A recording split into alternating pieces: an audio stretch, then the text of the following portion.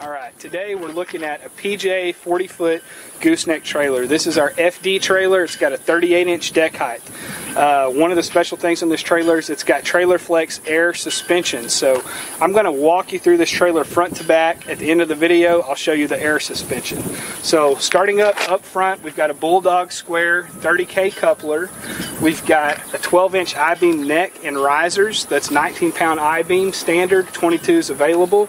Uh, inside the neck, we have a Hydrastar brake actuator for the electric over hydraulic disc brakes. We've also got a spare tire mount up inside the neck. Uh, if you'll look under the neck, we have a front mount toolbox on PJ Goosenecks. A front mount toolbox is standard. Uh, it's made out of diamond plate. It's locking.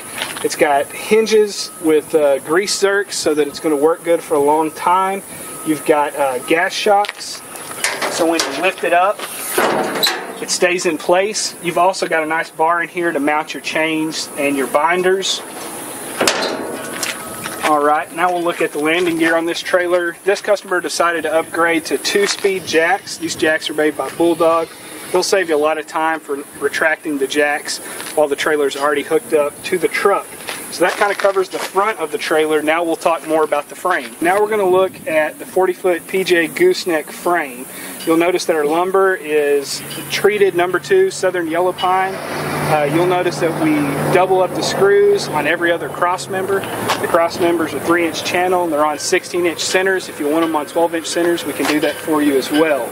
Uh, the outside frame is made by 2x6 tubing, not channel. Most trailers use channel. We use tubing. Tubing is going to let you run all of your wiring and your lights inside of a tube. That's going to protect them and help you keep your trailer legal as you're going down the road. Also, every PJ Gooseneck comes with a rubber rail standard and it's got stake pockets and pipe spools. Uh, this trailer has been optioned with slide track with uh, winches you basically just slide your winches to wherever you need them, and when you order this option, you get one winch for every four feet of the trailer. They've also ordered this trailer with a side mount front toolbox. Everybody knows if you're going to be in the hot shot business, you need lots of storage, uh, and this is going to be the way to go.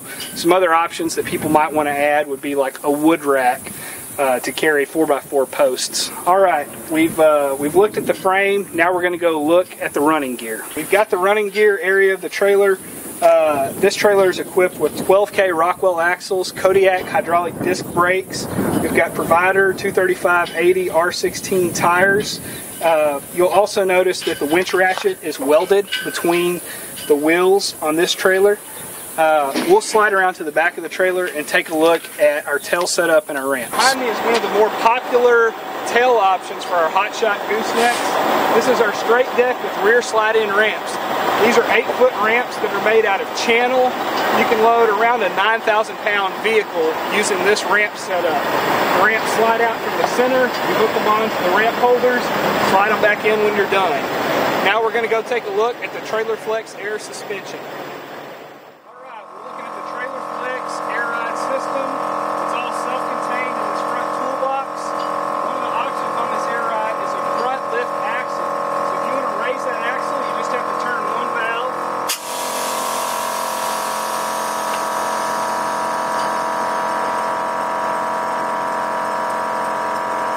Takes about 25 seconds for it to come all the way up. It's also going to raise the bags in the rear.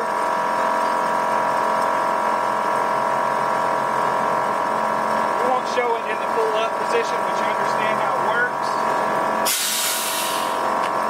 Close the valve. That'll set the axle back down onto the ground. Now, if you just want to adjust the ride height of the trailer, to drop it as low as it goes, drop the rear valve, the bags are deflating.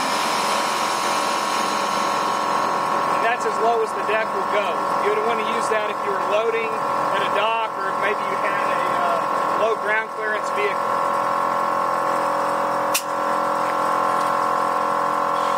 Turn the valve, that'll raise the deck back up.